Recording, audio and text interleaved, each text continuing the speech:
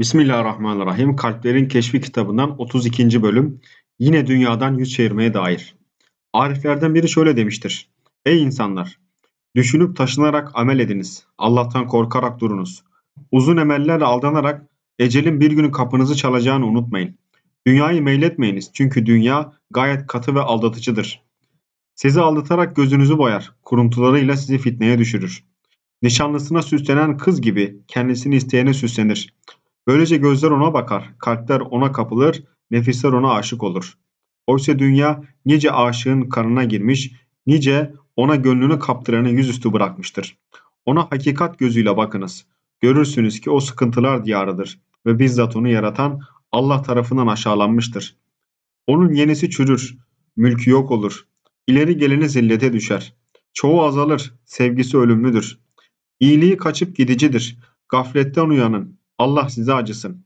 Gün gelip sizin için filan hastadır yahut durumu ağırdır. Acaba iyileşmesine bir çare var mıdır? Yoksa doktor yolu mu görünüyor denilmeden uykunuzdan uyanın.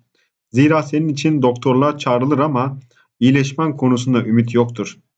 O zaman şöyle söylenir. Filanca kimse vasiyetlerini söyledi. Sonra dili ağırlaştı. Kardeşleriyle konuşamıyor. Etrafındakileri tanıyamıyor denir. Bu anda alnından terler boşalır. Bunu inlemelerin takip eder. Yaklaşan sonucunu kestirmeye çalışırsın. Gözlerin fal taşı gibi açılıp sabit bir noktaya dikilir. Tahminlerini doğrularsın. Dilin peltekleşir. Kardeşlerin ağlar. Sonra şu oğlun, şu kardeşin diye takdim edilir ama artık konuşman engellenmiştir. Konuşamazsın. Dilin mühürlenmiştir. Daha sonra ilahi hüküm gelir. Ruhun bedenden ayrılır. Göklere çıkartılır. Kardeşlerin başında toplanır. Kefenini hazırlarlar. Seni yıkayıp kefenlerler. Ziyaretçilerin arkası kesilir. Seni çekemeyenler rahatlar. Ailen mirasını paylaşmaya koyulur. Sen ise amellerinle baş başa kalırsın. Yine ariflerden biri bir krala şöyle der. Dünyayı en çok hor görmesi gerekenler, bolluk içinde yaşayanlar, orada her istediğini elde edenlerdir.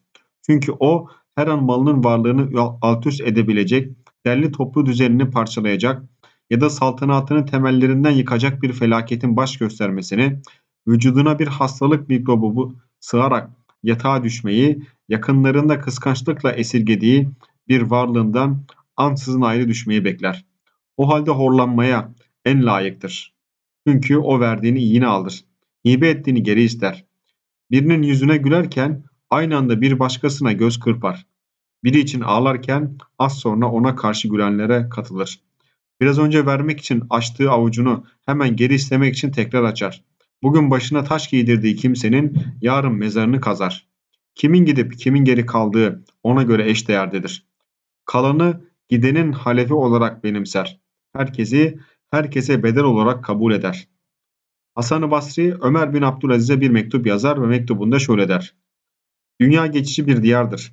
Devamlı kalacağın yer değildir.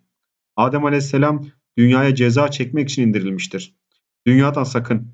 Ey müminlerin emiri! Şüphesiz ki dünyanın azığı onu bırakmandır. Zenginliği ona ihtiyaç duymamaktır. Her an birini öldürür, dünyayı gözünde yücelten perişan olur. Dünyada mal biriktiren fakirleşir. O öldürücü olduğunu bilmeyenler tarafından yutulan bir zehir gibidir. Bu zehir öldürücüdür. Orada yarasına ilaç arayan gibi ol. Yaralı uzun süreli ızdıraptan çekinerek kısa süreli nöbetleri göze alır. Uzun zaman hasta kalmamak için kısa bir müddet için tedavinin acısına katlanır. Bu altıdıcı, katı, baştan çıkarıcı dünyadan sakın. Hile eli süslenir, basit bir çalımla karşısındakini baştan çıkarır. Emelleriyle insanın ruhuna girer, kendisini isteyeni oyalar durur. Böylece alımlı bir gelin verir. Gözler onu süzer, kalpler ona hayran kalır. Nefisler ona aşık olur. Oysa o hiçbir eşini sevmez. Ne kalan gidenden ibret alır, ne diğeri öncekini yolundan alıkor. Ne de Allah'ı tanıyan bir kimse onun hakkında bildirilen nasihatlere uyar. Dünya, dünyaya aşık olanlar ihtiyacını temin ederek zafer kazanmış ise gururlanır. Azgınlaşır, ayretini unutur. Tüm aklını dünyaya yorar. Bir bakarsın ayağa kayıverir de pişmanlığı çok büyük, hayflanması fazlaca olur. Ölüm sarhoşluğu ve acılar başına üşüşür. Dünyayı isteyenler hiçbir zaman onunla ilgili isteklerine kavuşmamıştır. kendi kendilerini yormaktan asla kurtulamamışlardır. Azıksız olarak dünyadan göçüp hiçbir hazırlık yapmadıkları bir yere gitmişlerdir. Ey müminlerin emiri, dünyadan sakın. Elinden geldiği kadar onunla senin aranda bir mesafe olsun. Mümkün mertebe uzak dur ondan. Zira dünya tutkunları ne zaman dünyadan tatmin olsalar o onları bir çirkinliğe iter. Zarar verenler gurur ve kibre kalkışırlar. Dünyadan yararlananlar pek katı ve zararlıdırlar. Dünya bolluğuna ancak belalarla ulaşılır. Oradaki kalış ve yokluğa doğru gider.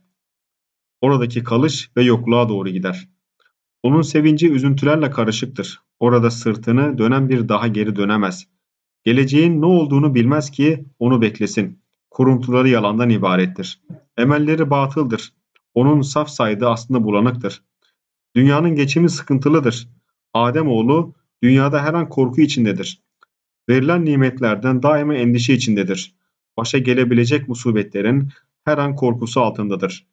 Eğer yaratıcı olan Allah dünya ile ilgili bir bilgi vermemiş, dünyadan örnekler ortaya koymamış bile olsaydı, dünyanın kendisi uyanı uyarmaya, gafili gafletinden uyarmaya yeterdi. Oysa Allah dünyadan sakındıran haberler vermiş, nasihat etmiştir. Allah katında onun hiçbir değeri yok.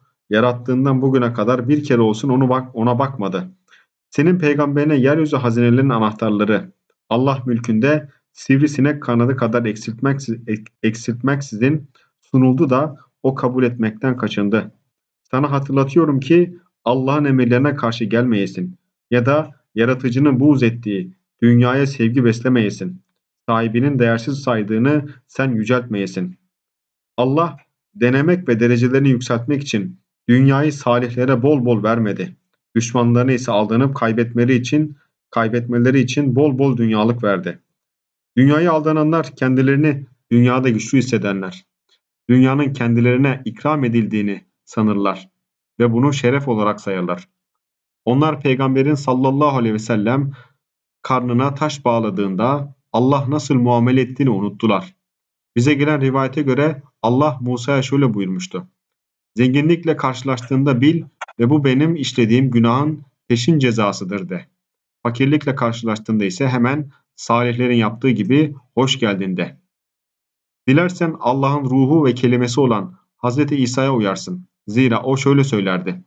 Katığım açlık, düsturum korku, elbisem yün, kışın ısıtanım güneş, ışığım ay ışığı, bineklerim ayaklarım, yemeğim ve meyvelerim yerin bitirdikleridir.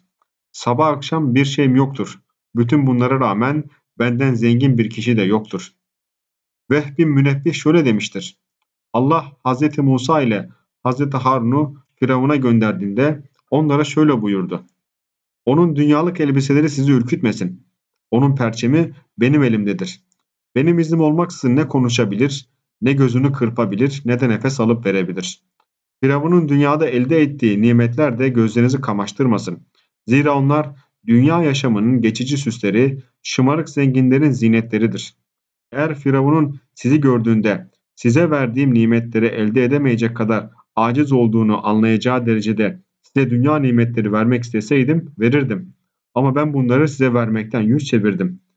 Veli kullarıma da aynı şekilde muamele ederim. Şefkatli bir çobanın sürüsünü tehlikeli yol yerlerde otlatmadığı gibi ben de onları dünya nimetlerinden alıkoyarım. Bunun sebebi onlara değer vermemem değildir. Tam tersine benim cömertliğimden tam olarak ve bol bol yararlanabilmeleri için böyle yaparım. Şüphesiz benim veli kullarım bana karşı alçak gönüllülük, Allah korkusu, boyun eğme ve takva ile süslenirler. Bu duygular kalplerinden doğar, organlarında açığa çıkar.